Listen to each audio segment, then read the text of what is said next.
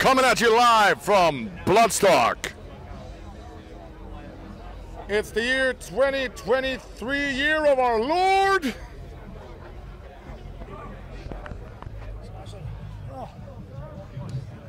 So I'm just ho- hoping I'm in the picture. All right, guys, back here at Bloodstock 23 um, with my personal band of the weekend. Adam here from Royal Republic. What a show!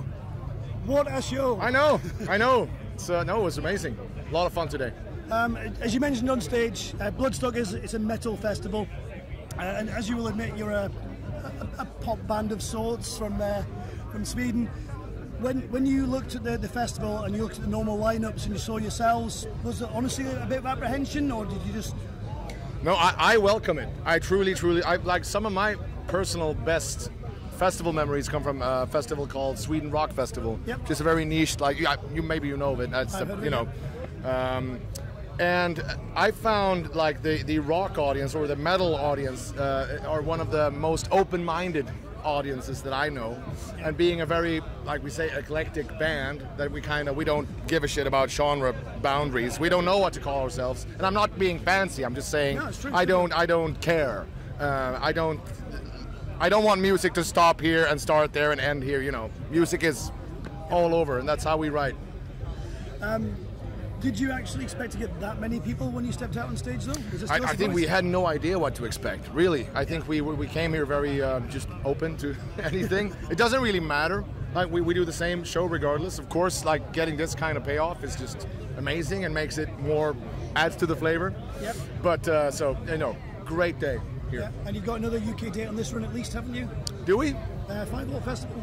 Uh, we had one. Yeah, last night we Was that- played. uh, yeah, it? Firebolt. Yeah. Yeah, just Uh, out of interest, how did that go? Because that's a different audience, isn't it? It's more rock That was a di- that was a more mixed bag. Uh, yeah, more more like countryside, uh, but very very um, familiar, like family, c- cool family vibes. Yep. Uh, also very very. We had a really good weekend. Best weekend we had in the UK for a long time. Yeah. That's a wasp. Except for the Wasps. Wasps 3. so, uh, you mentioned on stage uh, heading towards working for another album. Um, I know uh, I, I last saw you, it had been about five years ago, I think, at Glasgow Garage, five or six years back. Um, then something happened, for, so we couldn't travel for a while. And then something else happened in the UK, which meant travelling for you was quite quite awkward. So I know you're going to be over here with um, Skindred, I believe. That was the plan. Yeah. Yeah, just tell people what happened. Because I'm on your side with this. No, but no, really, it just became like we, there was a budget, and uh, we can't ignore the budget, no matter how much we would like to. Um, Yeah. And uh, the uh, the risks of like going here during the pandemic uh, with you know the rules in place that if you're infected, you must quarantine for this and that long. So if one of us were to catch it while here, it would totally ruin the whole thing, and we couldn't get the money back because there were no in, there's no insurance to cover it. So it was just like it's it's too it's too difficult. It's too red. It's too much in the red, and we can't. It's it would be completely irresponsible to do it. Um, so we we said you know let's put this. Let's put this money into new new music or do something constructive with it. We, we can always come back. Like we'll, we'll make it work. We'll come back. And it sucked because we really really wanted to go out, especially with Skindred. You know. Yeah, it's a great band to tour with. Yeah, yeah. So uh, the new album you're mentioning uh, hasn't been written yet. It's good. It's good. Well, it, it's mostly written. Oh, Yeah. They're not recorded yet. And I'm trying Well, get it, it exists in my iPhone, like demo versions. That was that's usually how we make albums. Like we make the album once, like full on, Yep. and then uh, we record it one more time with more expensive microphones. Like that's. So I have it. I have it here. Right. If this man disappears somewhere over the weekend and his pockets get rifled, it wasn't me. Okay. Um, so the, the, the, proper, more expensive microphone recording will take place at some point in the near future. Um, when I saw you touring last, you played uh, it Glasgow Garage and similar venues, which are maybe about a thousand capacity. You're now playing to audiences like this, which I'm sure is going to help you. Are you like to be coming back to the UK tour? Is that the hope, maybe? Of course. I mean, um, we would have come back sooner if it was our cho- choice alone. You know what I mean? Um, the planets aligned here for this weekend, and uh, so we're just happy we got to do this.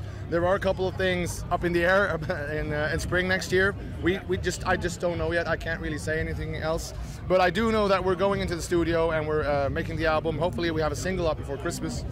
Um, and uh, you know then it's then it's full on. That's the regular thing. We start over again, and UK is sure to be part of that. Uh, another thing you mentioned on stage there was obviously you're, you're a, a repressed metal metal fan. Uh, you'd much rather be playing real music rather than the silly poppy stuff. Um, Right. what, what were your favourite bands? I mean, obviously you've, you've gone a slightly different direction, but which, which bands when you were younger were, were you like, I want to play their music? Well, I mean, the, the first band that I came out of, you know, I I grew up in a family of musicians. So Yep. both my my mom and my dad uh, were both musicians, and so I got you know the Beatles from them. I got I got Pink Floyd from them. I got Led Zeppelin, and I got Eric Clapton and Tom Petty, and you know Excellent. whatnot, Earth, Wind and Fire, like a- a- everything. Miles Davis. Um, and so uh, my first like very own thing, I guess, was Metallica.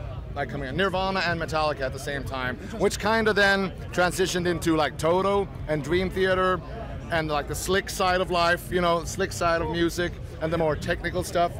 And then uh, I don't know when I started getting into, you know, the, like the uh, Gothenburg, the Swedish metal scene, like Soilwork and Flames, and that kind of stuff. And then that kind of branched into like Decapitated, Cannibal Corpse, Morbid Angel, Nile, like you know. Um, so so I just um, it, it's still in there. It's deeply rooted within. You can't really get rid of it. Is that the first time you've actually had a chance to really rattle out some metal on stage at a festival or, or a gig before? Have you done it before? If I say if I say no, I, I would be lying. Uh, so uh, yeah, it, it, has happened on occasion, occasionally that we uh, that we bust out a metal cover or, or three. Or three? Yeah, yeah, which is the most enjoyable part of the set for me personally. Yeah. Uh, well, as I said, it was a fantastic set. I was watching the crowd, the security guards in front of me, the crowd behind me. There was not a single person who wasn't grinning from ear to ear. It was fun. Cool. And with the sun out and the weather, and a, weekend like this and a few beers, what more do you want? So I, I don't. All I can say is thank you. And Thank I you. Cannot wait Pleasure. to see you guys again. And honestly, for anybody who missed it, I know I go on about bands I like, but there's reasons for it. All right. Uh, when the new album comes out, stream it, buy it, and if they, if they sell tickets, go and see the show. Anybody who's at Bloodstock this morning will tell you the same thing.